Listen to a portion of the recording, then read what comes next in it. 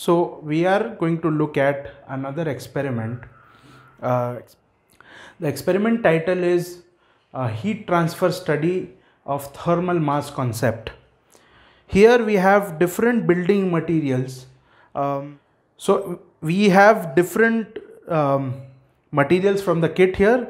Uh, this is the box and these are the different building materials that we have um, which include the glass plain glass uh, the cavity glass the aluminium composite the louvered panels this is the concrete and this is the ceramic tile here uh, additionally we will require the temperature gun and the halogen tube the objective of this experiment is to understand how different materials have different thermal mass. Now what do we mean by thermal mass? So the ability of material to absorb heat, to retain heat and to um, transfer heat. So is, is basically known as thermal mass. I'll give you an example. What we mean by that is for example, take uh, a metal sheet versus a stone.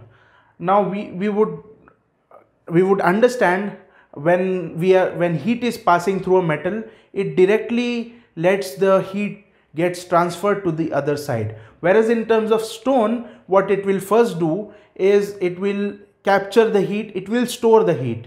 And if the heat is uh, if if the heat that is being passed is larger than its heat storage capacity only then he will start dissipating heat to the other side.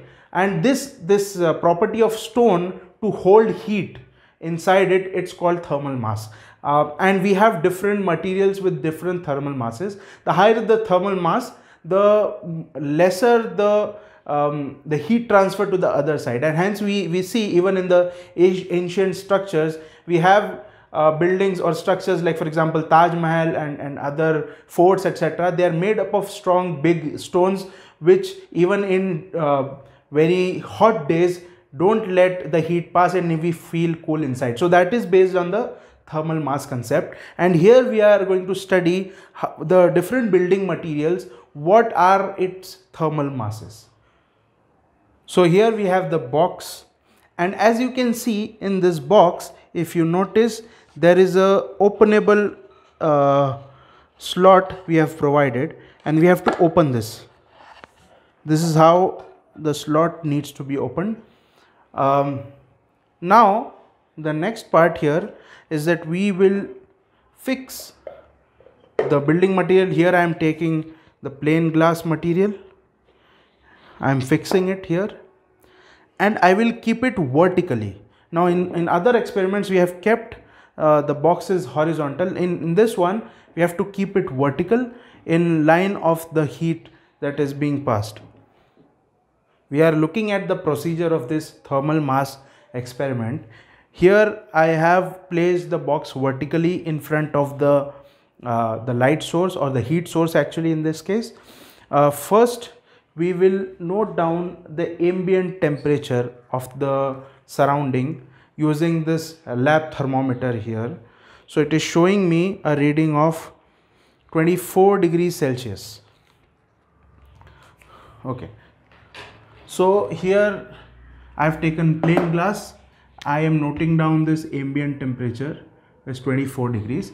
The second reading here is called Tmax. What is Tmax? We have to assume Tmax which is approximately going to be great, uh, greater by 5 degrees than the ambient temperature. So if the ambient temperature is coming out to be 24 degrees, we have to assume the Tmax as uh, 29 degrees and T min is going to be same as the ambient temperature which is 24 degrees.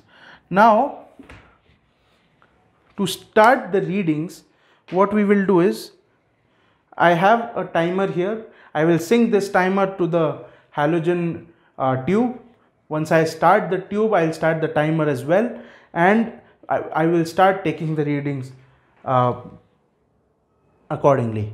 So I'm starting this. Okay, now how do I take the readings? in this experiment, we have to just use the temperature gun to take the readings and we have to take the readings from one side and from other side after every 30 seconds till the temperature of the inside surface reaches the value of 29 degrees or T max what we have assumed. So it's 30 seconds now. Outside is 28.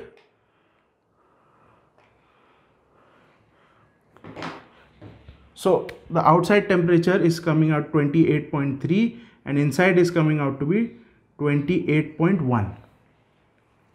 So I'm waiting for another 30 seconds to lapse for the my next reading. So it's it's 30 seconds.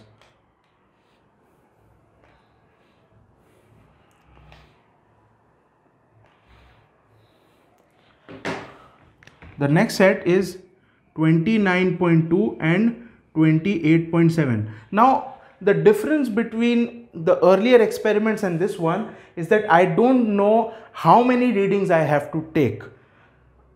But what I know is I will stop my readings till I, I will not stop taking my readings till I get this temperature uh, here. So again another 30 seconds have passed. I am taking this reading. This is 29.4 and the inside reading is 28.8 I will keep on going on till I, I get a value of 29 here. Another 30 seconds have passed.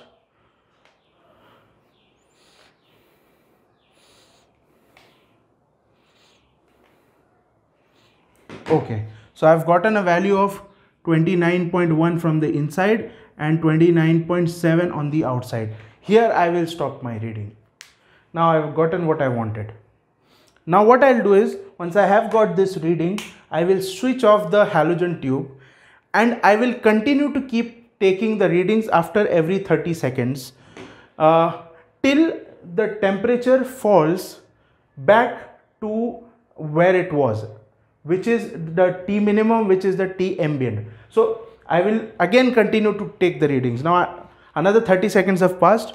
I am taking the outside reading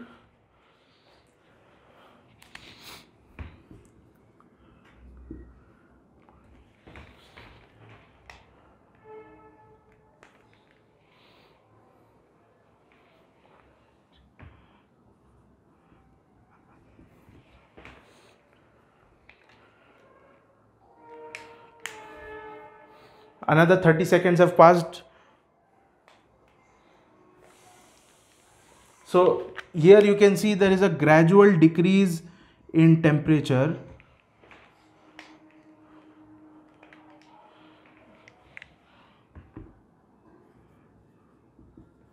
Two.